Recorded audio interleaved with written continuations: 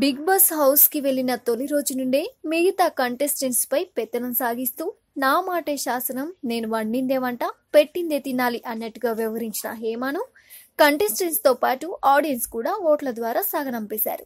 అయితే తొలి వారంలోనే బయటకు వచ్చేయడంతో హేమ ఎమోషన్ అవుతున్నారు. నేను నాలాగే ఉన్నాను బిగ్ బాస్ హౌస్లో కూడా. అయితే కిచెన్ దగ్గర వచ్చిన చిన్న గొడవ మిగతాదంతా బాగానే ఉందంటూ సాఫ్ట్గా మాట్లాడిన హేమ బయటకు వచ్చాక బిగ్ బాస్ పై ఫైర్ అవుతున్నారు. పక్క ప్లాన్ ప్రకారం కుట్రపూరితంగా నన్ను బయటకు పంపారంటూ ఆవేదన వ్యక్తం చేస్తుంది హేమ. ఈ సందర్భంగా బిగ్ బాస్ ఓటింగ్ పైన ఎలిమినేషన్ ప్రక్రియ పైన సంచలన కామెంట్స్ చేశారు. ఈ వీడియో మీకు నచ్చినట్లయితే లైక్ చేయండి షేర్ చేయండి సబ్స్క్రైబ్ చేయండి. పక్కనే ఉన్న బెల్ బటన్ని క్లిక్ చేయడం మాత్రం మర్చిపోకండి.